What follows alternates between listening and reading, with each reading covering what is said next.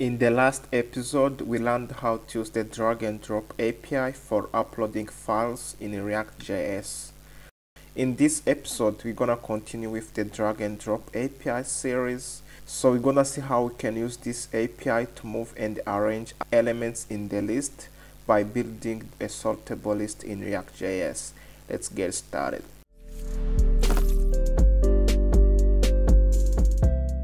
So here I have gone ahead and created a simple React app so that we can focus on implementing the drag and drop functionality. I have basically created a component that is rendering a list of spots using the map function and here in app.js I am simply importing and rendering the sortable list component. I have also added some styles we need to get started for the application to look good. So if you want to see this code, head over to the GitHub repository. All the code that will be showcased in this video is gonna be there. Okay, so the goal of this video is to make this list we have sortable so that we can move elements in the list by dragging and dropping them. So we're gonna start by making every item in the list draggable by setting draggable property. This will allow us to drag the list items using the mouse. So we're gonna use the use state hook to declare state for keeping track of the index of two items in the list. First, the, uh, the index of the item being dragged and the index of the drag over item. Basically, the drag over item will be the new position where the dragged item will be placed. So now let's move on events. So you're gonna start by handling two main events. The first event is the on drag start event and the second event is the on drag over event. The on drag event will be invoked when the user starts dragging an element while the drag over event will be invoked when the dragged item is being dragged over a particular item. The functions that will handle these events will both take in the event and the index of the elements as the arguments. For now, we will simply console log the events. So for now, we will simply console log the event and the index so that we can test this in the browser. So now in the browser, we can open DevTools to see what's going on.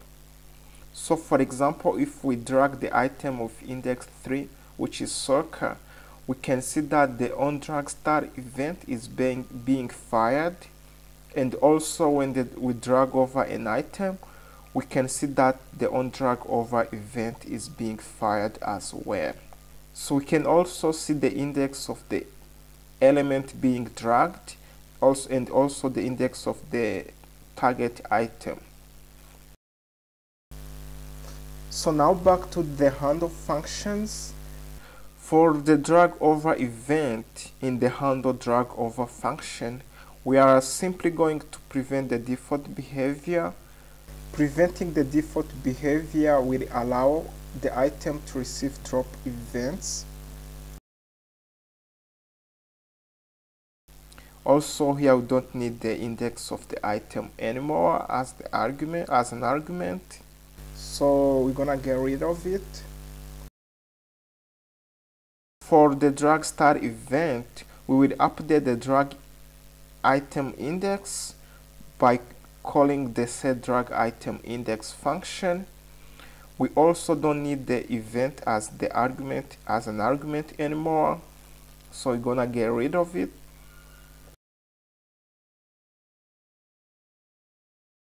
Okay, so now let's move on to the next event, which is the on drop event.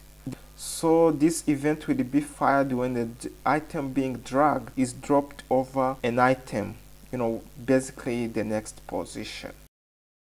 For now, let's console log the action and test this in the browser.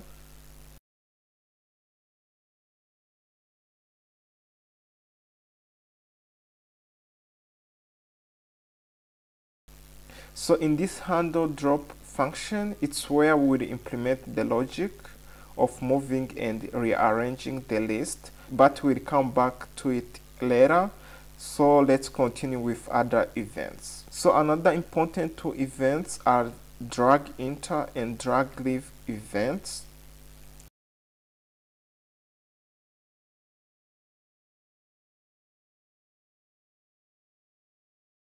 So the drag enter event is fired when the dragged item enters a valid drop target.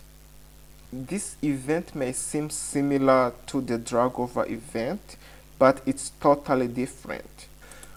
The drag enter event happens the moment you drag something into the target item and then it stops. However, the drag over event happens during the time you are dragging something until you drop it. So we will use the drag enter event to update the drag over item. So for the drag leave event, it will be fired when we leave the target element. So when this event is fired, we want to set the drag over item index to null. The last event is going to be the event that will be fired when the user hit escape on the keyboard or when this whole drag and drop operation is finished and this event is the drag end event. So we will handle this event with the handle drag end function and this function will simply reset the state for both drag item index and the drag over item index by setting them to undefined.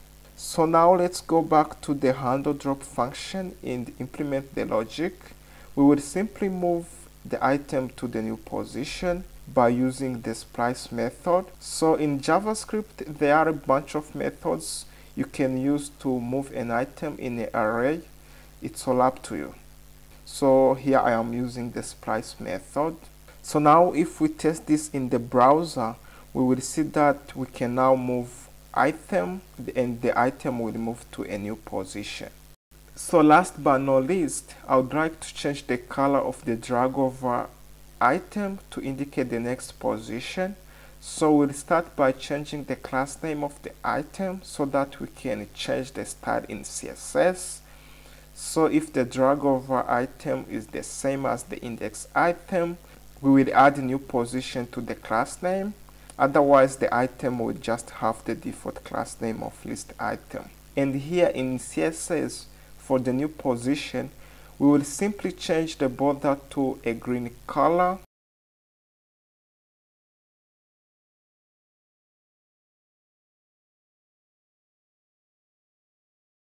We will also reduce the opacity of the element to 0.2.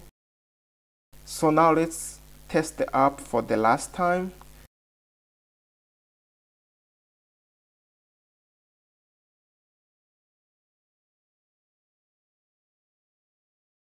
As you can see everything is working like a charm.